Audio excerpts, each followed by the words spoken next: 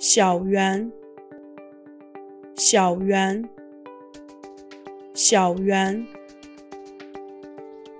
This is the Chinese pronunciation of the name. The same name may exist in other languages with different pronunciations. Check other possible pronunciations or similar names for free at voxifier.com.